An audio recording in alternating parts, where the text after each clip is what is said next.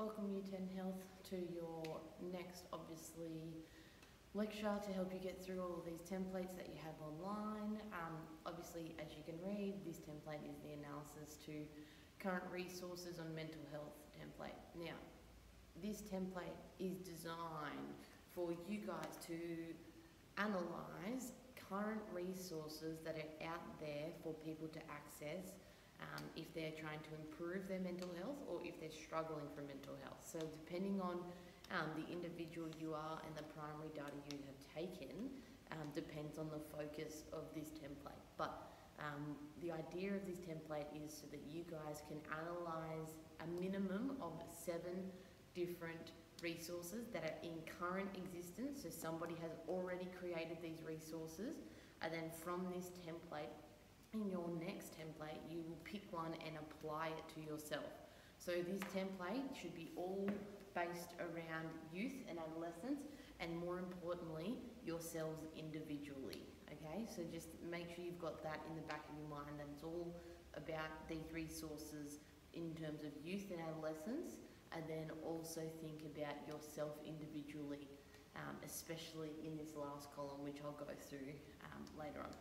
All right, so to start with, obviously, all the way over in the first column, as we can see, it says resource. So all you need to do is put the resource that you are looking at in there. So my example that I'm doing right now is um, Happify, the app. Um, so that's a phone application or an iPad application. It can also be on Android or Apple, so it's an application for any phone. Um, now, moving on to the next column, I'm asking you guys to put in the strengths of the resource. So, what do you think from reading about it, analysing it, not using it? So, you're not. I'm not asking you to go and use the app. What I'm asking you to do is go and research the app. What does it do? What's its purpose? What is it designed for? Who is it designed to help? And then I want you to tell me the strengths of that resource. Now, for me, and this is just a very quick looking at it so that I can give you guys an example, I found that the strengths of this resource is that it had an emphasis on fun. It chose guided pathways so that you could choose, so the individual who wanted to use the app was able to choose those, and then also it um, designed to remove stress from an individual's life. That was its purpose generally. Now, I think that those are um, important features of the app and its strengths, but reminder, I think they're the strengths that it is useful for use. Now, if I was doing this for myself, who's no longer a youth, it might not be those strengths. I might find other strengths in it. So, reminder, you're always tracking back to the strengths uh, for use in adolescence. All right, so now when we're looking at our weaknesses here, um, the weaknesses I found in the app is that it costs money to download the full version, so you can only get part of the version for free, which is a potentially significant problem for all use.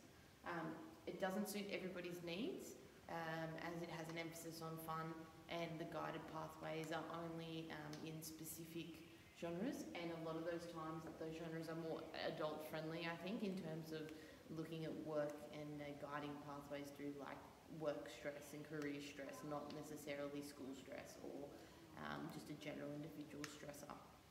All right, and then in the last column, what we're asking you to do is we're asking you to rate from 1 to 10 the likelihood that you would use it and provide an example of why. So I said um, it would be a 7 out of 10, so 10 being the best, 1 being the worst. Um, and I said, as I think it fits the needs that I found from my River of Life template. So the information that I have from my River of Life template, so my barriers and enablers in that template, I think that this app probably uh, suits those really well and there's a real need potentially for those to attack some of my weaknesses or my barriers from my River of Life. So that's why I rated this one so highly.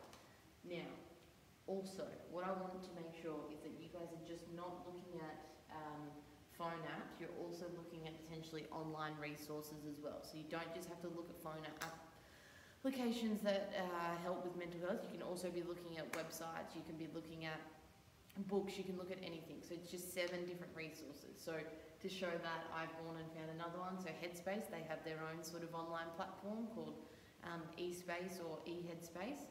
Um, so that's an online resource. I think the strengths of it are it's accessible on any device due to the fact that it's just on Wi-Fi.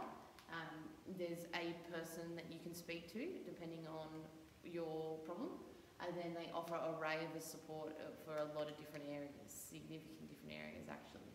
But then some of their weaknesses are um, individuals need to reach out on their own, so you can't just download the app in secrecy and, and do it on your own. You've actually got to reach out to somebody else.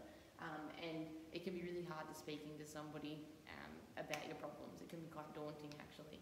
So for me, when I went to rate it, I only wa- rated a three due to the fact of like some confidence issues. I didn't feel very comfortable in reaching out to another individual. I was more inclined to reach out to an application that doesn't really know me, won't judge me.